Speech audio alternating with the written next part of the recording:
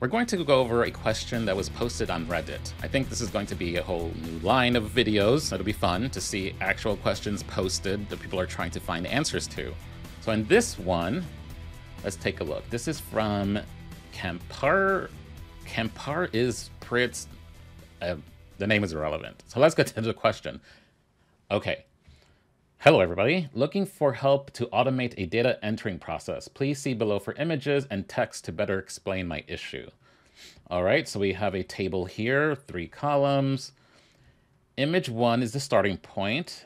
Every line is an observation of the occurrence of a particular DNA mutation in a sample I analyzed. Okay, so essentially we have a table here with three columns. It has an ID, the random data we are to ignore, and then you have a mutation. So you have ID 1, it has mutation 1, 2, and 3. ID 2 has mutation 1 and 3. And ID 3, as you can see. So each ID can have multiple mutations. Then here, image 2 shows another table which is located in the same Excel but in a different sheet.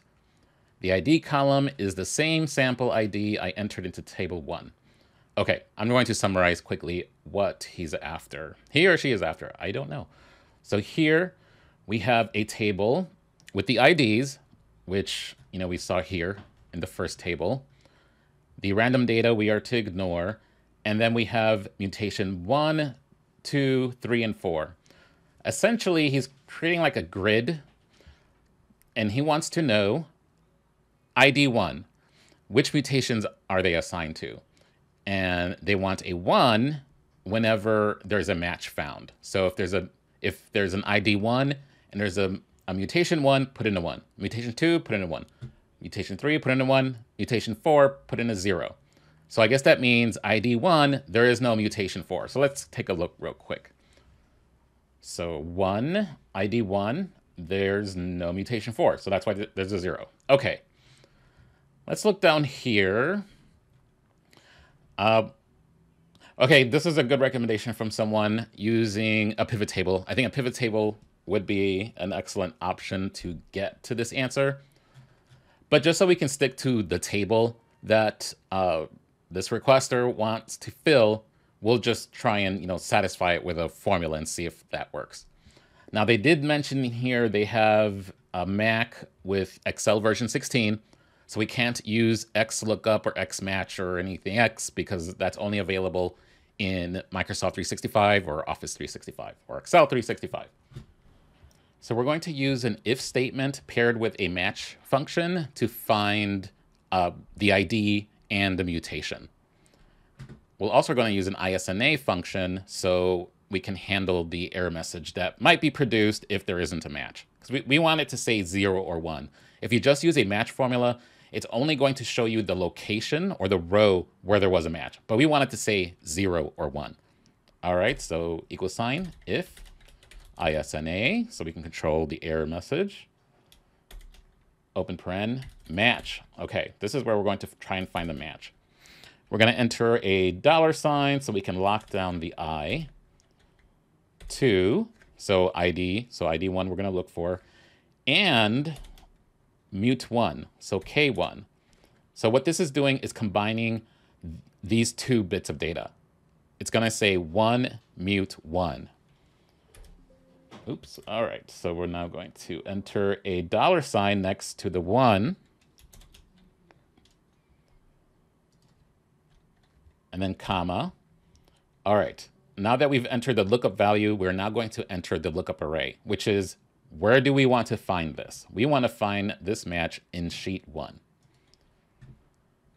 We want the formula to look for the entire column of A and the entire column of C every time it finds that match. So we're going to click on A and column C.